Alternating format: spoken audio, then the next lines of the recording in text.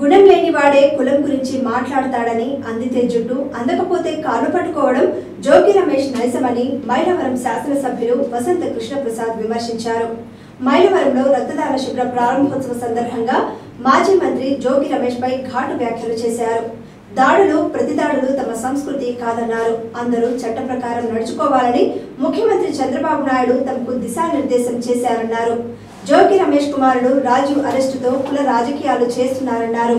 జోగి రమేష్ అమెరికాలో ఉన్న తన కుమారుణ్ణి అధికారంలోకి రాగానే ఎందుకు పిలిపించాడని అన్నారు. ఇద్దరు తోడుదొంగలాగా కలిసి దోచుకోవడానికి పిలిపించావా అని ప్రశ్నించారు. కావాలని సిఐడి అటాచ్మెంట్లో ఉన్న అగ్రిగోల్డ్ భూములను కొనుగోలు చేసి సర్వే నంబర్ మార్చి వేరే వారికి విక్రయించి కోట్లాది రూపాయలు దండుకున్నారని ఆరోపించారు. జోగి రమేష్ గారికి అధికారంలో ఉన్నప్పుడు చాలా విషయాలు మర్చిపోయారు ఆయన. ఇప్పుడు వచ్చేటప్పటికి ధర్మపన్నాగాలన్నీ చెప్తా ఉన్నారు. నా కుమారుడు అమెరికాలో చదువుకున్నాడు నా కుమారుడు డెలైట్లో ఉద్యోగం చేశాడు మళ్ళీ ఇప్పుడు అమెరికా వెళ్దాం అనుకుంటే అరెస్ట్ చేశారని. మరి ఆ రోజున అమెరికాలో చదువుకొని ఉద్యోగం చేసే కుర్రోడిని ఇండియాకి ఎందుకు తీసుకొచ్చారు? అధికారం ఉంది కదా మనం నేను ఆల్రెడీ దోపిడీ కార్యక్రమాలు మొదలెట్టాను.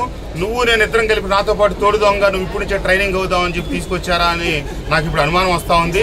ఇప్పుడు ఆయన మీద అక్రమ కేసులు పెట్టారంటున్నారు. ఆ రోజు చంద్రబాబు నాయుడు గారిని ప్రశ్నించడానికి వెళ్ళానని చెప్పి చెప్తా ఉన్నారు. మరి ప్రశ్నించడానికి వెళ్ళిన రోజున ప్రెస్లో మీరు ఏం మాట్లాడారు? ఈరోజు ఏం మాట్లాడుతూ ఉన్నారు? ఒక భూమిని కొని అది వివాదాల్లో ఉందని సిఐడి ఆధీనంలో ఉందని చెప్పి వాళ్ళకి తెలియని విషయం కాదు.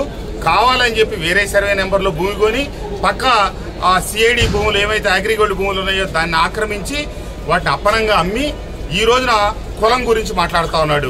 నేను ఒక బీసీని కాబట్టి నేను ఒక గౌడు కులస్తుడిని కాబట్టి అని చెప్పి. అసలు నువ్వు గౌడు కులస్తుడు అయితే నీవు ఆ గౌడు కులంలో నుంచి పెరిగి పెద్దవాడయ్యి ఈ రోజున రాష్ట్ర మంత్రిగా ఎదిగి నువ్వు కనీసం నలుగురు గౌడ కులస్తులకైనా సాయం అందించావా? జోగి రమేష్ గారని నేను ప్రశ్నిస్తా ఉన్నా. ఎందుకంటే మీ అందరికి తెలియని ఒక చిన్న విషయాన్ని మీ అందరి దృష్టికి కూడా తీసుకురావాల్సిన అవసరం ఉంది. నేను మైలవరం నియోజకవర్గ శాసనసభ్యుడిగా ఉంటా. గడిచిన ఐదు సంవత్సరాల కాలంలో మైలవరం నియోజకవర్గంలో ఎన్ని సబ్స్టేషన్లు ఏర్పాటైతే వాటన్నిటిలో కూడా నాలుగు నాలుగు షిఫ్ట్ ఆపరేటర్ పోస్టులు వస్తాయి. సరే వాటన్నిటిని ఎస్సీలకి బీసీలకి ఎస్టీలకి మైనార్టీలకు సంబంధించిన నిరుపేద కుటుంబాలు మైలవరం నియోజకవర్గానికి సంబంధించిన కుటుంబాల వాళ్ళకే నేను ఇప్పించున్నాను. నేను వైఎస్ఆర్ కాంగ్రెస్ పార్టీకి దూరం అయినప్పటికీ శాసనసభ్యుడిగా ఉన్న కాలంలో ఇతగాడు మంత్రిగా ఎలగబెడతా నేను గతంలోనే శాసనసభ్యుడిగా ఉన్నప్పుడే వెలగలేరు. కాదు కౌలూరు సబ్స్టేషన్లో జీకొండూరుకు సంబంధించి ఒక పత్రికా సోదరుడు ఒక ఎస్సీ నిరుపేద సోదరుడికి సంబంధించిన కుమారుడికి నేను అవకాశం ఇచ్చాను ఇప్పుడు దాదాపుగా ఏడు ఏడు మాసాలకు పూర్వం. అతను ఏడు మాసాలు పనిచేశాడు ఒక్క మాసం కూడా ఇక జీతం పడలా. జీతం పడే నెలలో నేను వైఎస్ఆర్ కాంగ్రెస్ పార్టీకి దూరం అవటం. అప్పుడే ఇంకొక సబ్స్టేషన్ ఏర్పడితే దాంట్లో వచ్చే నాలుగు ఉద్యోగాలు. మొత్తం ఐదు ఉద్యోగాలు. ఏమైతే బేతపూడి నరసయ్య కుమారుడిని తొలగించి తనకు అనుకూలమైన ఒక కుర్రోడిని అక్కడ వేసాడు ఈ కుర్రోడు ఏడు సంవత్సరాలు ఏడు నెలల బట్టి పనిచేస్తుంటే కూడా చూడకుండా అతన్ని తీపిచ్చి తినకి అనుకూలమైన ఒకటి.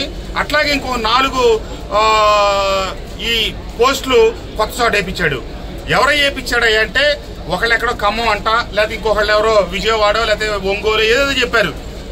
అంతే తెప్పించి మైలవరం నియోజకవర్గానికి సంబంధించిన ఒక్క కుర్రాడు కూడా ఉద్యోగం ఇప్పించపాల సరే ఇప్పించపోయినది కాదు లేదా మా జీకొండూరు కుర్రాడికి ఇప్పించాడని కాదు. కానీ ఈ ఐదు పోస్టులు ఏడు ఐదులు ముప్పై ఐదు లక్షలకు జోగి రమేష్ గారు అమ్మటం జరిగింది. నేను మళ్ళీ రెండోసారి కూటమి అధికారంలోకి రావడం నేను గెలిచిన తర్వాత సంబంధిత అధికారులను పిలిచి ఎప్పుడో ఏడు మాసాల క్రితం ఒక ఎస్సీ దళిత బిడ్డకు ఉద్యోగం ఇస్తే అతన్ని తీసి మీరు కొత్త కుర్రోడు ఎందుకు పెట్టారు? తక్షణం తొలగించి ఆ పాత కుర్రోడినే ఉద్యోగ నియామకం చేయమని చెప్పి చెప్పారు. వెంటనే చేశారు.